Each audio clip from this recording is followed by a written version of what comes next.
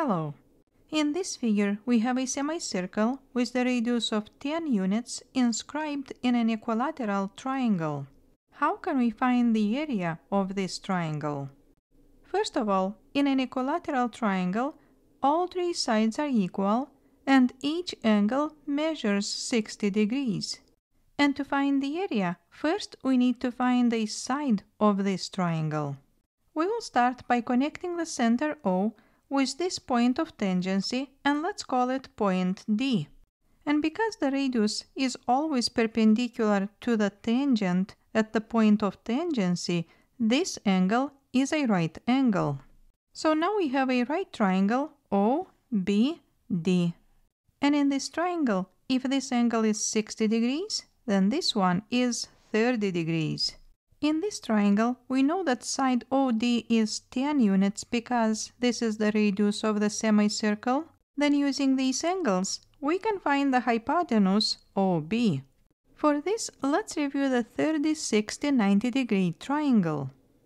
In such a triangle, if the side opposite the 30 degree angle is x, then the side opposite the 60 degree is x square root of 3 and the hypotenuse is 2x.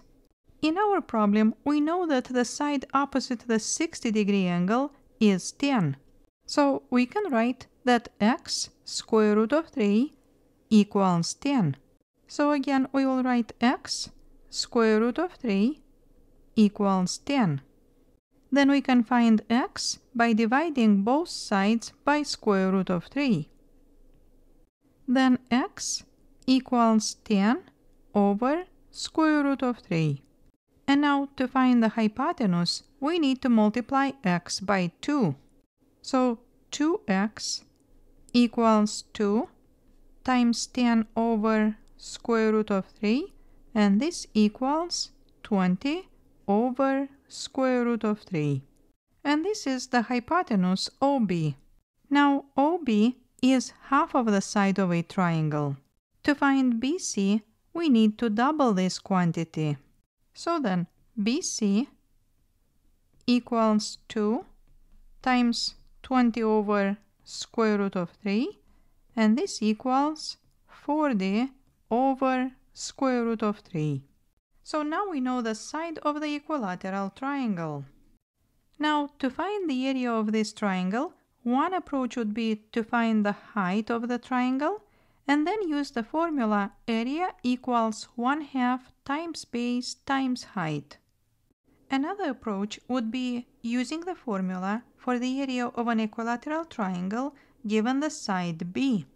This formula is A equals square root of 3 over 4 times B squared and we'll replace B with 40 over square root of 3.